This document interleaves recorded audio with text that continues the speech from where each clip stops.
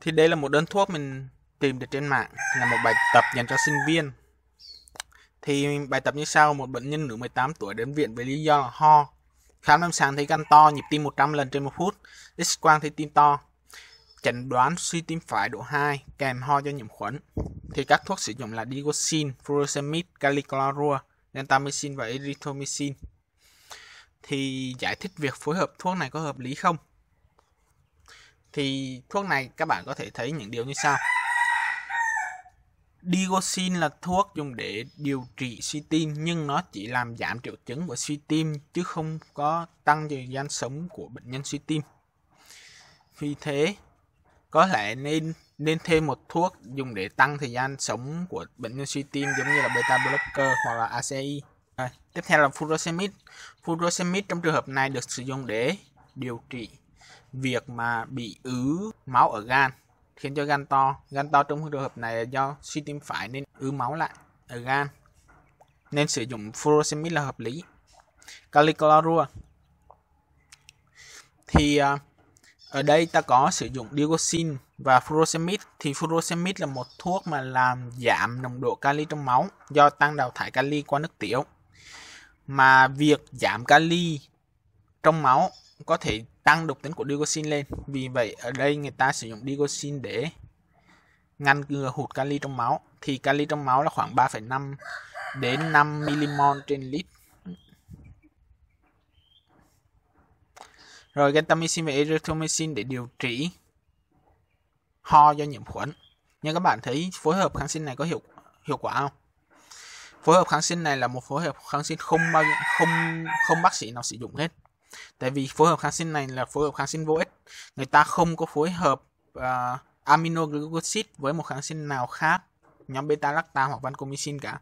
Tại vì chỉ có beta lactam hoặc vancomycin mới làm tăng tác dụng của gentamicin mà thôi. Còn lại không bao giờ người ta sử dụng cái kiểu phối hợp này. Cho nên một là thay đổi gentamicin. Một là thay đổi gentamicin bằng một beta blocker ví dụ như amoxicillin với acid hai á, là nếu mà trường hợp nặng á giả dụ như là có nhiều bác sĩ ưa sử dụng phối hợp giữa beta lactam và gentamicin á thì mình thay đổi erythromycin tuy nhiên trường hợp này mình thấy uh, ho do nhiễm khuẩn nó không cái đề bài thì nó không cho là nặng hay không.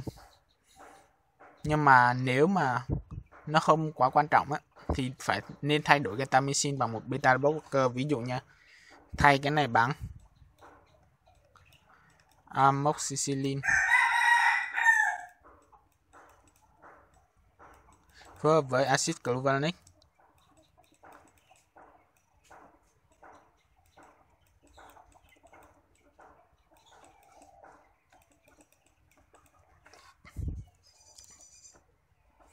Rồi, những điều cần lưu ý đến bệnh nhân sử dụng dioxin thì dioxin sẽ tăng độc tính trong trường hợp là giảm kali huyết.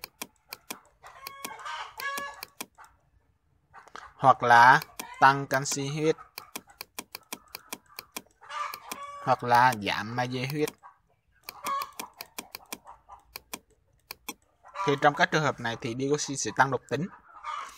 Hoặc là nếu mà sử dụng digoxin với quinidine á, thì có thể gây là quinidine sẽ đẩy digoxin ra khỏi mô và làm tăng nồng độ digoxin trong huyết tương và vì thế gây độc.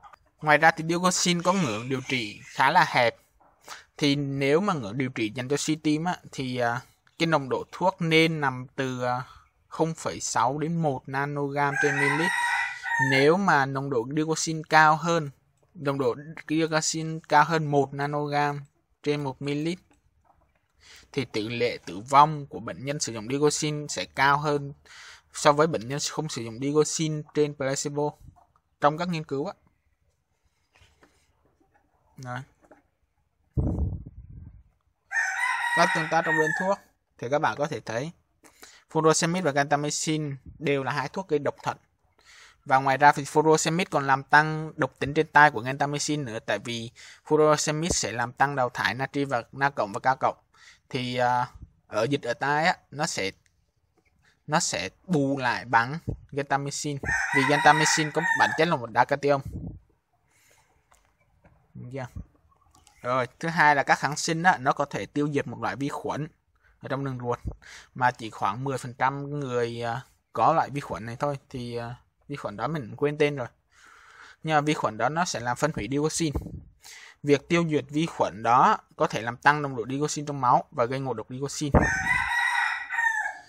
Rồi, mình chỉ nói những điều uh, chủ yếu đó thôi.